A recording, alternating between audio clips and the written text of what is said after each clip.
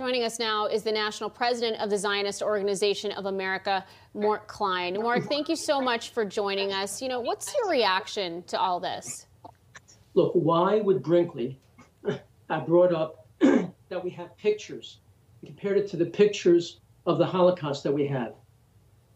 Everybody saw the pictures of January 6th a thousand times. We all know that. And why would Brinkley have compared this uh, to the Holocaust? A ridiculous, absurd, breathtakingly insensitive analogy. He did this because he, as a partisan left wing uh, uh, historian, he wants to implant in the minds of American people as ugly and frightening a picture of January 6th as is possible. and that's why he made this analogy to the Holocaust in Pearl Harbor and 9 11. In Pearl Harbor and 9 11, 3,000 people died in each one. In the Holocaust, we had six million Jews murdered and millions others. And this was a major country with a major army with major weapons. January 6th was a one day protest that went out of hand with no weapons. No protesters killed anyone. There's only one person who died, and that was a protester killed by a policeman. well, and yeah, and also he didn't mention that we saw the pictures of the police opening up the gates essentially inviting people into the capital area. So this is this insane analogy is done in order to paint an uglier picture and to frighten American to think January 6th was something truly monstrous when it was just just one one very terrible day.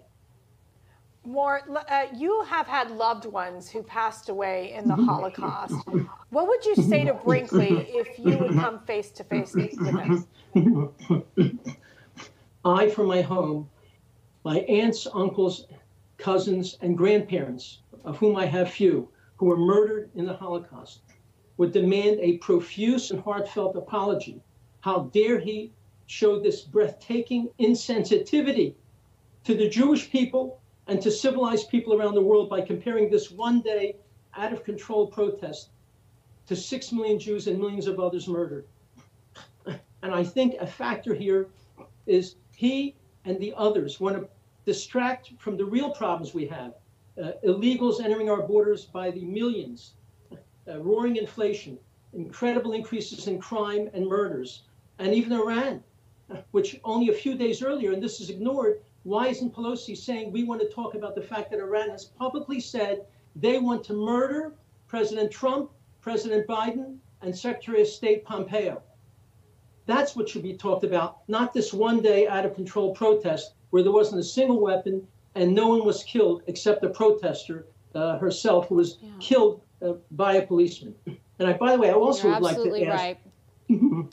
why is it that the person nominated to fight Holocaust denial, Holocaust minimization, anti-Semitism, Deborah Lipstadt from Emory University, hasn't said a word about this?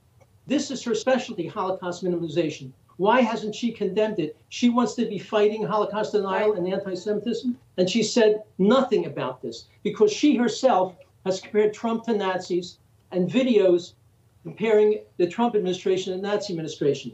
She is unfit. I want to hear from Biden's appointment to fight Holocaust denial and anti Semitism about this breathtakingly insensitive and absurd analogy, Klein, especially by a historian. Unfortunately, we have to leave it there, but thank you so much for being with us tonight. We appreciate it. Thank you. And ZOA.org, you can learn more. Thank you.